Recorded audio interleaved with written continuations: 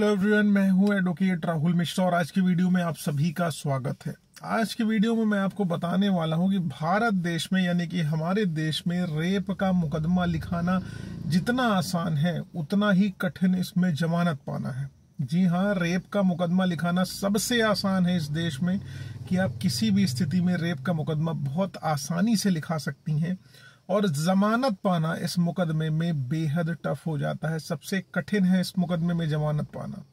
और जो नए कानून आ गए हैं, उसके तहत तो अब जमानत मिलना लगभग लगभग असंभव सा हो गया है। तो ऐसी कंडीशन में जब आपके ऊपर तीन यानी कि रेप का मुकदमा, अगर सेक्शन 69 बीएनएस का मुकदमा नए प्रावधानों के तहत रजिस्टर हो गया है या रेप का रजिस्टर हो गया या शादी का झांसा देके बलात्कार करने का मुकदमा रजिस्टर हो गया तो ऐसी कंडीशन में आपको किन आधारों पर माननीय न्यायालय से जमानत मिल सकेगी?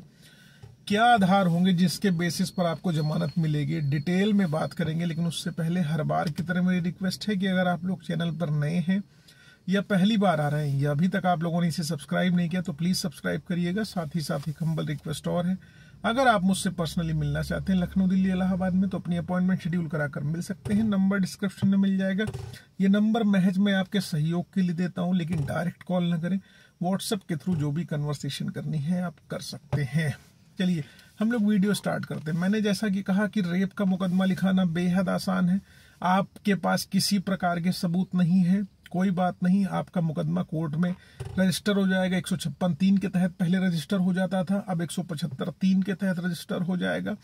उसी तरीके से एफआईआर लिखाने जाएँगे। पुलिस एक दो दिन दौड़ाने के बाद आपका मुकदमा रजिस्टर कर देगी। कभी कभी स्पॉन्टेनियस बेसिस पर रेप का मुकदमा पुलिस रजिस्टर कर लेती है।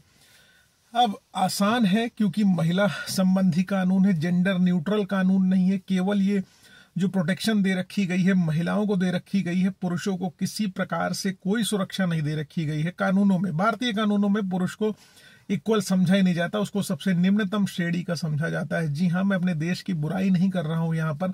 जो हमारे कानून कहते हैं, मैं उसके हिसाब से बता रहा हूँ। अभी गवर्नमेंट ने नए कानून बनाए, उन कानूनों में भी पुरुषों के लिए कुछ भी नहीं किया, सब कुछ जेंडर स्पेसिफिक कर दिया महिलाओं के लिए।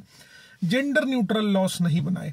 अब ऐसी कंडीशन में आपके ऊपर रेप के मुकदमे रजिस्टर हो गए हैं तो आपको जमानत किन आधारों पर मिलेगी। सबसे पहली चीज़ जो जमानत पाने का सबसे बेटर आधार होगा, डिले। कि अगर किसी महिला ने बहुत देर से एफआईआर कराई है, लेट से कि उसके साथ कोई घटनाक्रम दो महीने पहले कारित हुआ है, या दो साल पहले कारित हुआ, या दस साल पहले कारित हुआ है तो उस कंडीशन में आप जमानत पा सकते हैं। डिले करी है एफआईआर करने में देरी करी गई है तो आपको जमानत कोर्ट से मिल सकती है। कई कई बार महिलाएँ अपना इंसिडेंट पाँच पाँच साल पुराना दिखाती हैं और पाँच साल बाद आके एफआईआर लिखाती हैं कि पिछले पाँच साल पहले इन्होंने मेरे साथ शारीरिक संबंध बनाए थे, जब मैं सोलह साल की थी। जी हाँ ग्रेविटी बढ़ाने के लिए ऑफेंस की ग्रेविटी बढ़ाने के लिए ताकि पॉक्सो में मुकदमा रजिस्टर हो जाए और आपकी जमानत होना संभव हो जाए और आप जेल चले जाएँ। सोलह साल के नीचे की लड़की पॉक्सो छह लगेगा तो ऐसी कंडीशन में आपको जेल जाना एकदम सुनिश्चित हो जाएगा। इसलिए दिखाया जाता है कि इनके द्वारा जब मैं सोलह साल की थी, तब से मेरा बलात्कार किया जा रहा है। तो डिले इन एफआईआर को जस्टिफाई नहीं कर पाएँगी वहाँ पर वो, कि इतने डिले से इन्होंने एफआईआर क्यों लिखाई? वो कहेंगी कि हम बहुत ज़्यादा डरे थे, सहमे थे, उस समय हम भयभीत थे, हमें समाज का बहुत डर था। लेकिन आज पैसे आपने नहीं दिए, चूँकि इन्होंने आपके ऊपर एफआईआर लिखा दी, पैसे आपने नहीं दिए, समाज का डर खत्म हो गया अब आप से गवाही के नाम पर, एक के नाम पर अलग अलग स्टेजेस में पैसा वसूला जाएगा। लेकिन यहाँ पर हम लोग वो डिस्कशन करने नहीं बैठे, हम डिस्कशन करने बैठे कि रेप का मुकदमा रजिस्टर हो गया तो एफ़ आई आर के बाद आपको बेल कैसे मिलेगी? तो पहला ग्राउंड मैंने बता दिया कि डिले इन एफ़ अगर एफ़ आई आर देर से लिखाई गई है अच्छा खासा समय पीत गया यानी एक दो दिन का।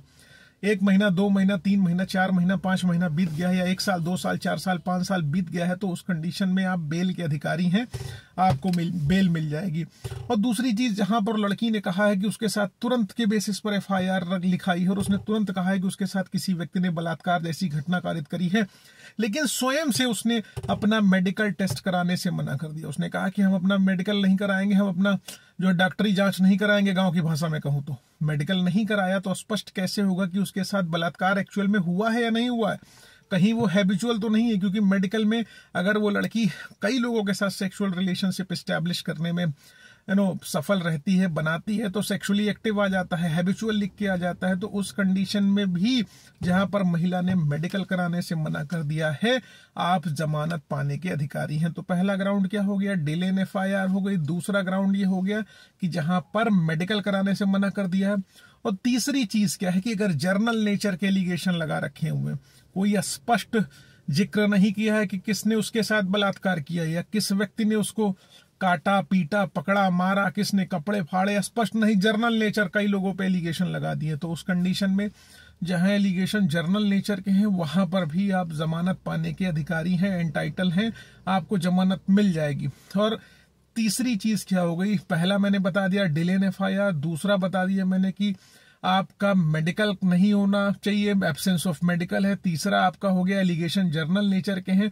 चौथा हो गया कि जहाँ पर स्पेसिफिक डेट टाइम प्लेस नहीं मेंशन किया, जहाँ पर जिस महिला के साथ घटना कारित हुई है, जिसके साथ बार बार बलात्कार किया गया है। किसी होटल में ले जाके, किसी कमरे पे ले जाके, किसी पार्क में ले जाके, किसी जंगल पे ले जाके, उसको स्पष्ट तौर पर वो नहीं बताई है कि उसको इस जगह पर इतने बजे, इतने तारीख को, इस स्थान पर, इस होटल में, इस कमरे पर ले जाकर बलात्कार किया गया। जिस महिला के साथ बार बार किसी स्थान पर जाकर बलात्कार किया गया है बार बार उसके साथ किसी स्थान पर किसी व्यक्ति ने सेक्सुअल रिलेशनशिप बिल्डअप करे हैं। किसी कमरे में ले जाके, किसी किराए के कमरे में ले जाके, किसी होटल में ले जाके उस स्थान को बताने में सक्षम है तो आप समझ लीजिए कि झूठी एफआईआर स्पष्ट तौर पर लिखा रही है। यहाँ पर आप बेल के लिए एंटाइटल हो जाएँगे। तो डिलेन एफ़ हो गई एबसेंस ऑफ़ मेडिकल हो गया जर्नल नेचर के एलिगेशन हो गए, और no specific date time place देने में सक्षम है। कोई स्थान नहीं बता पाई है। तो इन आधारों पर जो चार पाँच आधार हैं आपके, इनके बेसिस पर आप जमानत पा सकते हैं। अगला सबसे महत्वपूर्ण आधार है कि अगर आप लोग मान लीजिए कपल्स थे, एक, जगह लिव इन रिलेशनशिप में रह रहे थे, आप दोनों लोग लिव इन रिलेशनशिप में रह के आपस में संबंध बना रहे थे, सब कुछ सहमति से था। लेकिन अचानक से आपकी नौकरी लग गई तो महिला बदल गई। उसने आपके ऊपर एलिगेशन लगा दिया तो आप कंसेंट से भी अपने आप को बचा सकते हैं कंसेंट साबित करके बचा सकते हैं। और अगला चीज़ जो है कि अगर आपके बीच में किसी प्रकार का रुपए का लेन देन है, पैसे का लेन देन है, कई बार ऐसा होता है कि लड़कियाँ पैसे मांगती हैं, आप उनको पैसे दे देते हैं, पैसे ले लेने के बाद वो पैसा जब वापस रिकवर करना चाहते हैं तो आपके ऊपर एफआईआर रजिस्टर हो जाती है।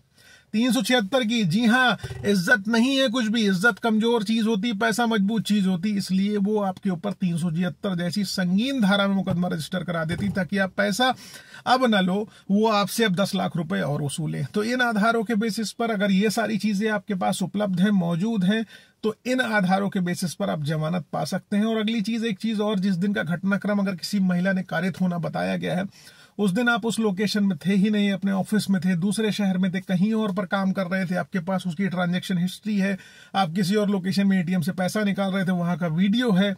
आप किसी जगह शॉपिंग कर रहे थे, आपके पास रसीद है, आप कहीं यात्रा कर रहे थे, आपके पास ट्रैकिंग आईडी है या ट्रैवल टिकट है तो उस कंडीशन पर भी आप बेल पा सकते हैं। उम्मीद है ये जानकारी समझ आई है, पसंद आई अगर ऐसा कुछ है तो वीडियो को लाइक से सब्सक्राइब करना मत भूलना। साथ ही साथ फेसबुक इंस्टाग्राम ट्विटर पर भी फॉलो कर लो यार। लिंक डिस्क्रिप्शन में मिल जाएगा आपको। कोई दिक्कत हो तो बिल्कुल मुझे कॉन्टेक्ट करो, मैं हेल्प करने की पूरी कोशिश करूँगा। लेकिन बेटर लीगल एडवाइस के लिए आप अपने वकील साहब से ही बात करें। ये मेरा पर्सनल ओपिनियन है। ये तरीके हैं जो हम अपना सकते हैं। मैं आपको बाध्य नहीं कर रहा हूँ, ये आपकी मर्ज़ी है whether you know use these tactics in your cases और not thank you so much Jai Hind, Jai Bharat.